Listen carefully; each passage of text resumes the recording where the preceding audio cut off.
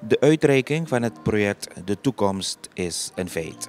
Dit is een initiatief van de Stichting Studentenwelzijn en Huisvesting met als initiatiefnemer de vicevoorzitter van de Nationale Assemblée, Melvin Bouva. Dit project heeft ten doel om voornamelijk de best geslaagden van de publiek hoger onderwijsinstellingen in Suriname te stimuleren, aan te trekken en te behouden, alsmede hun sociaal-economische belangen te behartigen. De Stichting Studentenwelzijn en Huisvesting heeft op zondag 24 mei 2020 aan 31 studenten een bereidsverklaring uitgereikt.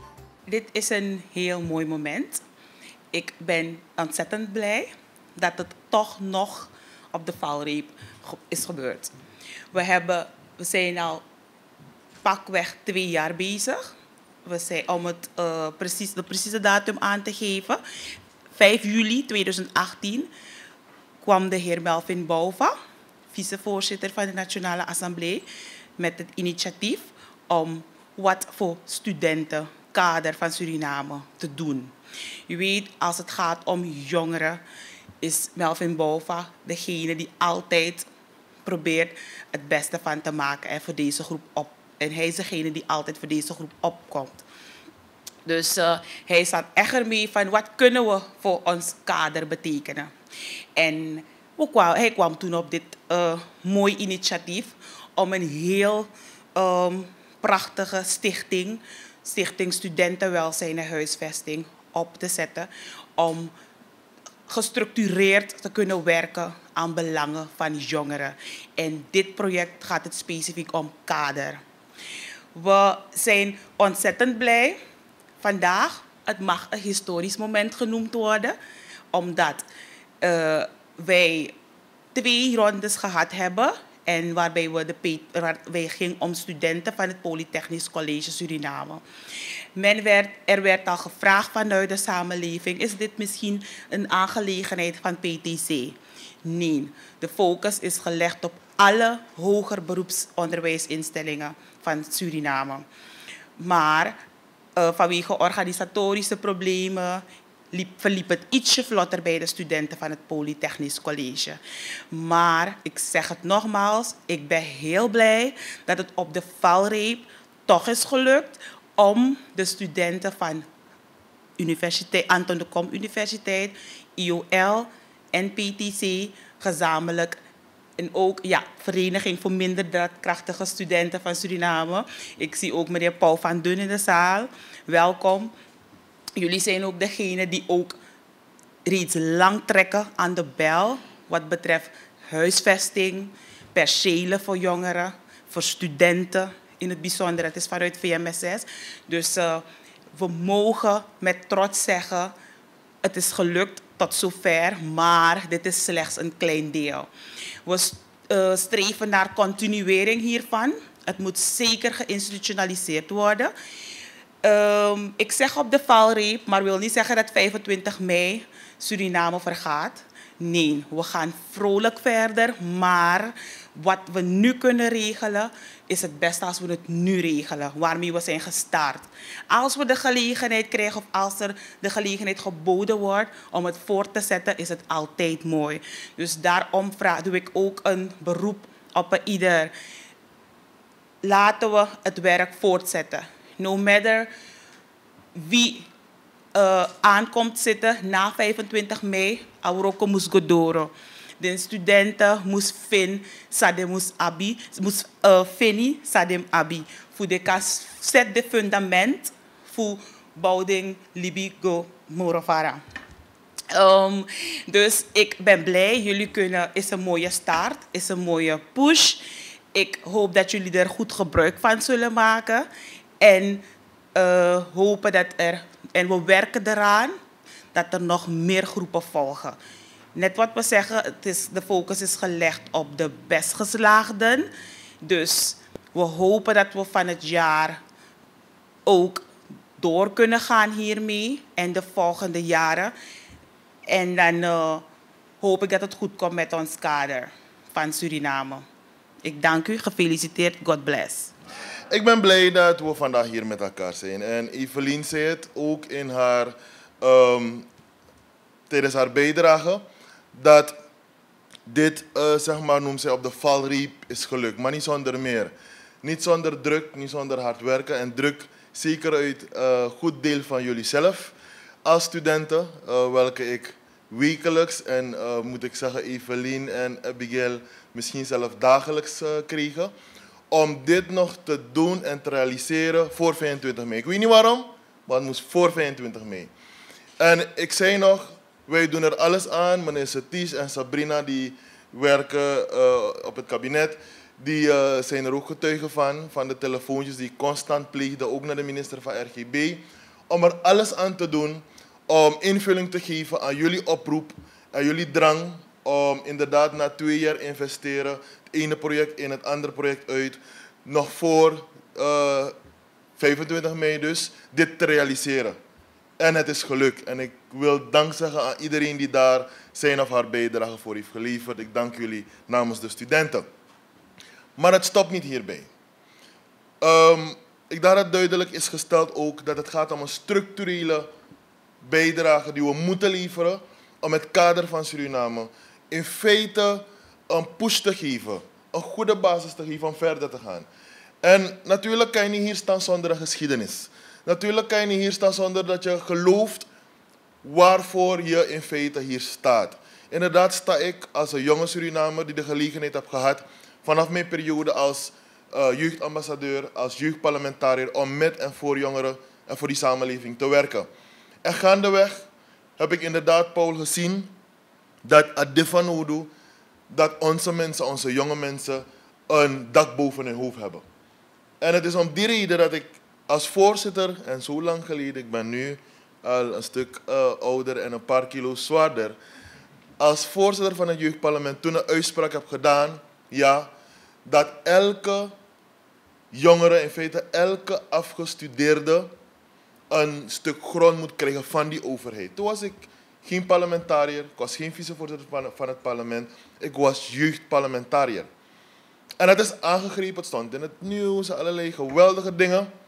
Maar je weet wanneer je uh, nog in het water bent en die slagen die je in het water maakt zijn maar gewoon slagen, dat komt er niet van.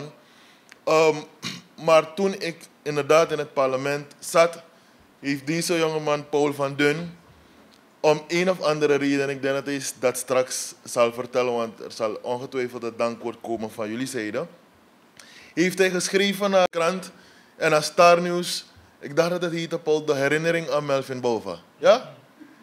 Vergeet die kop nooit. En eigenlijk aan Nakmi. Eigenlijk. Ja, je hebt erover gesproken. En in feite heb je niets gedaan. En Evelien was toen bij mij op kantoor. En ik zei, ik kan twee dingen doen. Ik kan nakken. Ja toch? Ik kan nakken baga. Of als Saranama, ik kan nodig uit als jongere Laten we zitten en laten we kijken wat we samen kunnen doen om dit waar te maken. En dat heb ik gedaan. Als tweede heb ik gekozen om Paul uit te nodigen, om met hem te zitten en te kijken hoe wij samen dit kunnen doen. En dat was de geboorte van de Vereniging voor Minder Draagkrachtige Studenten.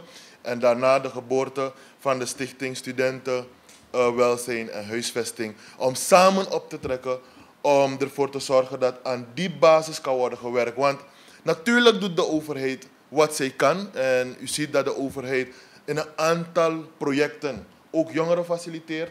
Van Richelieu naar Hanneslus, naar uh, de projecten aan de Ringweg. En all over the country zie dat er projecten verrijzen, woningbouwprojecten, waar jongeren aan bod komen. Maar deze specifieke doelgroep, daar is onvoldoende aan gedacht.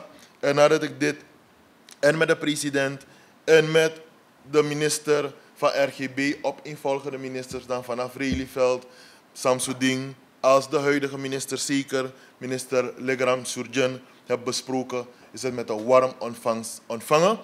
En kunnen wij, nadat we echt, het was een struggle, want we hadden een terrein toegewezen gekregen, uh, te Reeberg, achteraf bleek dat dat terrein ten behoeve van de landbouw eerder was uitgegeven. Dus het project kon daar niet verrezen zoals we dat hebben gepland. Maar we hebben toch wel met inspanning deze compensatie kunnen doen. En dit is de eerste stap. De volgende stap zal natuurlijk zijn dat we op basis van het project dat is uitgeschreven, inderdaad verder op zoek gaan naar een terrein specifiek ook voor de organisaties om daar verder op te bouwen. Want wat u goed moet vasthouden, dit is anno one day sunny. En ik wil dit benadrukken zoals ik dat altijd heb gedaan. Laat het niet heten, omdat wij vandaag op 24 mei hier staan, dat nou politiek sunny. Want we zijn al langer dan twee jaar hiermee bezig. Laat het niet heten dat het ja is om moeite te maken. Want we hebben zelf erom gevraagd, laten we nog die garantie krijgen. En ik zeg, we gaan gewoon rustig door. Toch? En Melvin boven komt, ook als het aan jullie uh, ligt, terug om met jullie door te gaan in het project. Maar het is niet daarom. Het is dat we dit moment toevallig hebben, maar het is een deel van wat we nog meer moeten doen. Ik wil dat benadrukken. We zijn nu al bezig met uw instelling, de EU, uh, het EOL. Nu heeft het een andere naam, ik dacht A, A, ALO. Ja toch? De universiteit en PTC bezig met de studenten van dit schooljaar. Dus Arki, jouw beurt komt ook. Ook jij kan aan bod komen wanneer je hard je best doet, studeert en op basis van je prestaties in aanmerking kan komen. Ik heb daar niets mee te maken. En ik heb heel bewust ook gekozen, hoewel ik initiatiefnemer ben, om mij op een gezonde afstand uh, te houden door de stichting zelfstandig te laten opereren, de vereniging zelfstandig te laten opereren en ze die ondersteuning te geven. Ik heb niet de ruimte om wie dan ook te plaatsen op een lijst. Ik heb zoveel telefoontjes gehad, toch? Maar dat kan helaas niet, want dat zijn exacte cijfers. Je bent best geslaagd of je bent het niet meer. Dan kan plakken een 10 punt als je dat niet hebt gehaald. Dus dat is in alle transparantie dat het project is opgezet, wat we met elkaar hebben besproken. En natuurlijk laten we ook wat ruimte voor enkele speciale individuele gevallen, waarvan ik enkele toch wel ook hier zie. Maar de mainstream zijn de studenten van Suriname die hun best hebben gedaan op onze hoger onderwijsinstellingen die deze push kunnen gebruiken om verder te gaan. Dus mijn hoop dat dat duidelijk. Ik wil ook verduidelijken en onderstrepen dat het een structureel karakter draagt en dat, ik dat het woord ook is gevallen, het geïnstitutionaliseerd moet worden. Op zondag kan dit nou een moeilijk worden, want zondag hebben we rust. Maar wat ik wil zeggen en wat daarmee wordt bedoeld, is dat we willen dat wanneer we hebben bewezen dat het werkt, want dat is de achterliggende gedachte, wanneer studenten naar me toe komen, daar in DNA. En dan ik ja meneer Boven, maar ik heb uh, gestudeerd en ik heb gewerkt, overigens ook daarover hebben gesproken. En ook daarover gaan we de komende periode verder om ook vanuit een soort uitzendbureau en you know, een bureau om studenten te ondersteunen om aan werk te komen. Ook daar gaan we mee verder en ook de studiefinanciering. Maar meneer Boven, ik heb geen grond, ik heb geen huis dan weet ik wat het betekent, hoe demotiverend het kan zijn. Wanneer je zo hard hebt gestudeerd, dan nou is dolok in Marokko. Maar je moet ook die 20 en die 30.000 euro proberen te, te, schrapen bij elkaar om aan een stukje land te komen. Dat heb ik meegemaakt in mijn periode. En ik weet dat dit een belangrijke ondersteuning is. Daarom zeg ik, het zal geïnstitutionaliseerd moeten worden. De overheid zal het als onderdeel van het beleid moeten maken om het op te nemen dat niet de stichting en niet de vereniging van studenten dit jaarlijks gaan doen. Ik hoop dat we het nog maar twee of drie jaar hoeven te doen en dat de regering zal begrijpen dat, hé, volgens mij is dat inderdaad, hoewel ik het heb ondersteund, nou een boembedoeling, nu zal ik het overnemen. Net hoe het project, welk ik ook ben gestart uh, met de minister van Buitenlandse Zaken, nu toen als jeugdambassadeurs, om elk jaar leerlingen te helpen met een pakket aan schoolmateriaal, een schooltas. Dat is een project dat door ons is gestart in 2008 met 200 schooltassen voor studenten.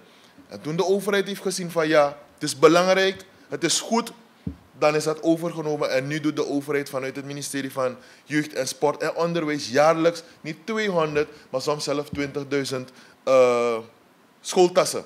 Dus laten we hopen dat straks, we praten nu ongeveer over 200 per jaar, Paul en Evelien, uh, aan kavels, dat die 200 straks worden misschien zelf uh, eh, 1000 of 2000 uh, eh, studenten die we jaarlijks vanuit de overheid kunnen voorzien. Gaan we daarvoor?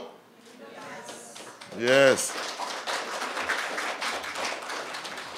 We gaan inderdaad daarvoor. We gaan inderdaad daarvoor. Dus ik wil aan het eind want natuurlijk, ook aan tak habbekras, maar jullie zijn niet gekomen om naar mijn mooie stem te luisteren. Jullie zijn gekomen om jullie Tori te halen. Ik wil op de eerste plaats uh, bedanken iedereen die hier aan heeft gewerkt, want het initiatief is niets zonder de mensen die dat ondersteunen. Dus van hieruit uh, dank aan natuurlijk de organisaties, de studentenverenigingen, uh, dank aan het kabinet van de president. De mensen zijn hier, Sabrina en Satish, die daar ook met hun team natuurlijk aan hebben gewerkt. Uh, op mijn kabinet, noem het maar uh, gerust het bureau van de voorzitter van de Nationale Assemblée, uh, Abigail, die ook heeft getrokken. En natuurlijk ook alle andere mensen die niet hier aanwezig zijn, maar bovenal dank aan de president en het ministerie, de president van de Republiek, die dit ook heeft ondersteund, en het ministerie van RGB, de minister, die is hier niet aanwezig, maar die heeft natuurlijk alle ondersteuning gegeven en doet natuurlijk ook de toezegging dat we hiermee doorgaan. Maar bovenal, dank voor jullie geduld. Want even weet ik, leek erop, tak amambo veilonu. Huh? Mina krit takiere. Mina krit takiere, even leek er amambo veilonu. En ik ben blij en trots. Ik heb geloof in mezelf en ik zou dat nooit doen. Ik heb jullie dat ook gezegd. Ik ga niet uh, bewust met allerlei omwenteltjes mensen in de maling nemen, dat absoluut niet. Mijn werk doe ik altijd naar beste vermogen. Dus aan van de lonen, maar ik dank jullie wel voor jullie geduld. Dat jullie het hebben opgebracht. En ik hoop dat dit een goede basis kan zijn voor jullie om inderdaad verder op te kunnen bouwen. En let wel, wanneer we naar highway zouden gaan waar dit project oorspronkelijk zou verrijzen, en later op Rieberg zouden we samen nog een heleboel werk moeten verzetten. Aan openstoten, aan schoonmaak, grote graf, Paul en Lars en Houwer. Eh? Maar dat is in het kader van Alassane Boonsani nu anders. Omdat de twee projecten waar jullie nu worden gefaciliteerd, bij de een Rieberg, dat is niet het oud project waar we zijn, maar een nieuw Rieberg project. Dat is voornamelijk, dacht ik, voor de studenten van PTC. Die komen te Rieberg. Dat is een compleet ontwikkeld project. En ook bij Altona is het een compleet ontwikkeld uh, project. Wat betekent dat met wat inspanning je tussen nu en afzienbare tijd inderdaad je eerste steen kan leggen. En kan gaan bouwen aan je huis en rustig verder kan bijdragen aan de ontwikkeling van dit geweldig mooie land, Suriname, en de ontwikkeling van jezelf. Nogmaals bedankt en heel veel succes. Op de eerste plaats wil ik aangeven dat uh, ik blij ben dat u niet hebt teruggeslagen. Maar dat u dat inzicht heeft geprevaleerd boven emotie.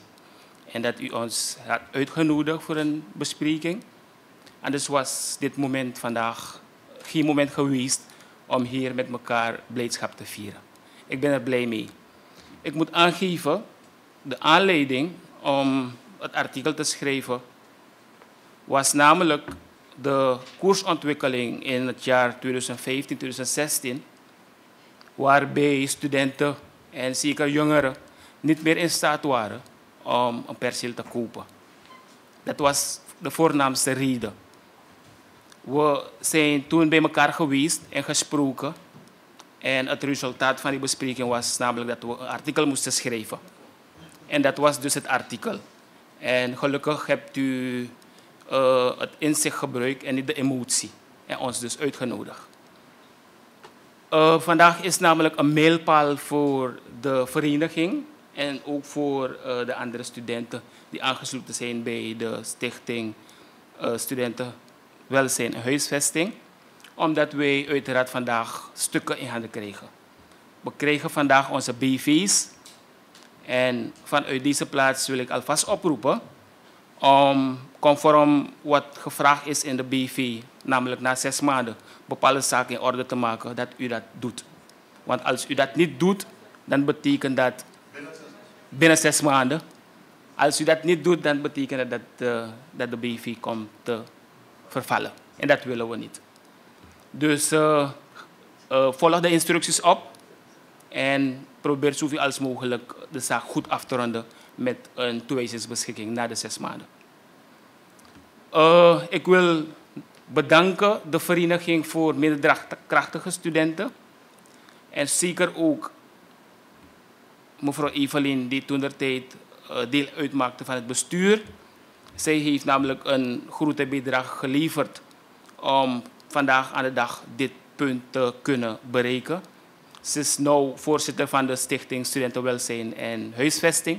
Ik denk dat we voor de komende periode samen, zij aan zij, schouder aan schouder, bepaalde zaken kunnen realiseren. Want uiteraard gaat het om de studenten. U weet dat naast het doel van huisvesting wij ook werken aan werkgelegenheid creëren en uiteraard ondernemerschap stimuleren. We hebben toen gesproken over het opzetten van een studentenspaar- en kredietcoöperatie. Die moet reizen naast NOB, want zoals u weet uh, moet er of kan er concurrentie komen. NOB is op dit moment monopolie en kunnen we dan kijken om de mogelijkheid te creëren dat naast NOB nog een studentencoöperatie komt om studie te financieren voor studenten. Dus dat is de grootste uitdaging van de VMSS thans. En we vragen vanuit deze plaats dat die ondersteuning komt vanuit de vicevoorzitter van de DNA. En zeker ook het kabinet van de president. Zodat wij dus gezamenlijk zo een prachtig project, project kunnen opzetten. Overigens, er is een schrijven gericht aan de president. Het moet zijn een maand of twee geleden, waarin wij hebben gevraagd dat de president zijn ondersteuning geeft om dit project van de grond te krijgen. Dus misschien kunt u als vicevoorzitter van de Nationale Assemblée uw invloed aanwenden dat de president toch nog kijkt naar het schrijven en dat wij uiteindelijk uh, werken richting de operationalisering van de studentenspaar- en kredietcoöperatie. Uh, ik wil u bedanken, meneer Bouva, want zonder u waren we niet hier aanwezig. En uh, het is een tijd geweest dat wij dus aan de slag zijn geweest. Het is vanaf 2015, 2016 zijn we bezig. En vandaag is het mooi moment aangebroken. Het is prijzenswaardig en we stellen dat zeer op prijs. En we vragen u om voor de komende periode uh, uh, het werk door te blijven doen voor de studenten en ook voor de jongeren, zodat zaken opgelost kunnen worden, duurzaam. Ik wil ook bedanken Evelien, nogmaals, ik benadruk het, omdat Evelien altijd naast me zat tijdens de vergaderingen op de universiteit. en ze ondersteunde me elke dag weer. En dus het zou niet mooi zijn om haar hier niet te bedanken. Tot slot, uh, ik wil kort uh, de studenten aangeven dat u zo aanstonds uw bereidsverklaring krijgt en dat het een waardevolle stuk is en dat u gretig gebruik van maakt. Nogmaals bedankt, ook aan het kabinet en de pers. We zullen straks de berichten zien op het nieuws. En ik hoop dat de berichten die op het nieuws zullen verschijnen, dat, dat de rest van de jongeren en de studenten zullen triggeren om dus zich dus aan te sluiten bij ons. Om gezamenlijk als een grote groep de zaak verder, uh, uh, te, verder te werken aan uh, het oplossen van het, huisves, het huisvestingsvraagstuk, ondernemerschap en werkgelegenheid. Ik dank u. Ik zag het altijd via de tv, maar nu voel ik hoe de mensen zich voelen al die keren toen zij een bereisverklaring in ontvangst mochten nemen. Hoe belangrijk is dit voor studenten die zich verder willen ontplooien, ontwikkelen en uh, met zo'n een, een perceel in aanmerking komen, zeg maar? Het is heel belangrijk, sowieso van eminent belang. Het is als push, motivatie en als pilaar voor zo'n student. Wat gaat u nu doen? U heeft uw document ontvangen. Wat is de vervolgstap? Uh, natuurlijk nagelezen en de enkele administratieve uh, afhandeling nog plegen. En stem ik verder af met mijn partner. Heeft u al een droomhuis in gedachten? Helemaal, al drie jaar. Oké, okay, succes. Hè? Dank u zeer. Um, het is een geweldig moment natuurlijk voor um, elke jonge Surinamer die uh, zich heeft geregistreerd of ja, de gelegenheid geboden zou willen krijgen om een perceel te krijgen, een stukje grond, dan is het toch wel een heel mooi moment. Nu wordt uh, het jongkader zeg maar um, extra beloond. Voorwaarde is dat je wel je best moet doen op school. Geeft dat nu een extra motivatie? Wetende van als ik mijn best doe, kan ik in aanmerking komen voor een perceel. Ja, um, als, um, voordat ik antwoord geef op uw vraag of op uw, datgene dat u heeft gezegd. Um, van hieruit moet ik mezelf bedanken dat ik me heb ingezet. De Almachtige daarboven, daar geloof ik in. Mijn omgeving, uh, mijn medestudenten die me altijd door hebben gepusht van nee, we gaan niet opgeven. Want kijk, zodra je op school zit, heb je dan ups en downs, momenten waarbij je zegt van nee ik ben al op een iets hoger niveau, hoger dan um, de Milo school. Dus ik ga even een pauze nemen. En geloof me, ik heb die momenten gehad. Maar ik had um, gelukkig medestudenten die zeiden van nee, we gaan gewoon erdoor. En daarnaast had ik ook um, uh, docenten die op wie je kan rekenen als, er, um, als je een vraag had. En natuurlijk als student was het niet altijd een mooi moment om kritische antwoorden terug te krijgen van ze. Maar um, dat hoort erbij wanneer je studeert, zodat je, want zij helpen je vormen. En daarnaast, als je hebt ingezet, is het natuurlijk aan het eind een mooi moment dat je, ondanks de moeilijke en um, dus de minder mooie en mooie momenten, als, uh, als laatje diploma in ontvangst kan nemen. En nu ook met um, ondersteuning van um, de stichtingen en uh, meneer Bolva onder andere, dat, je, dat ik nu hier sta met nog anderen, een paar anderen om een bereidsverklaring in ontvangst te nemen. Wat gaat u na vandaag doen? U heeft uw BV al. Wat gaat u dan nog doen? Nou, natuurlijk. Je kan niet gelijk zeggen, je gaat uh, gelijk bouwen. Het is wel een droom om dat uh, te ontwikkelen of te verwezenlijken, maar dat gaat niet 1, 2, 3. Je gaat eerst een beetje moeten sparen, moeten werken daar natuurlijk. En ja, voor zover heb ik wel dan bedoeling om iets erop te zetten. Een droomhuis in gedachten al? Ach, mijn droomhuis, mijn droomhuis is niet hier. het is, um, het is uh, ik, ik ben niet iemand die echt van grote huizen houdt. Ik hou van een ruime, ruime woning en ja, die is wel in gedachten. Okay. Een boodschap naar de studenten toe die ook een perceel willen en uh, zeg maar ook voor uitdagingen staan zoals u daarnet hebt aangehaald. Nou, degenen die op zoek zijn naar een perceel, die een perceel willen, die in aanmerking willen komen voor een perceel. Ik zeg, het gaat niet een ik denk niet dat het een ieder gaat lukken om in aanmerking te komen voor een perceel.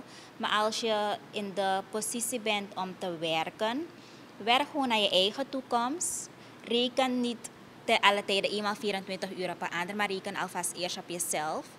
En um, zodat je jezelf verder kan opbouwen. Sparen naartoe, werken er naartoe. En als je op een opleiding zit, probeer dat zoveel mogelijk als je kan af te maken. Geef niet op. Niets, niets is makkelijk. Niemand gaat je een diploma gewoon uitreiken, gewoon omdat je twee colleges hebt gevolgd. Maar je moet je, moet je inzetten. Dus zet je in, zet hem op. En dan zal je als, um, als aan het einde vruchten ervan plukken.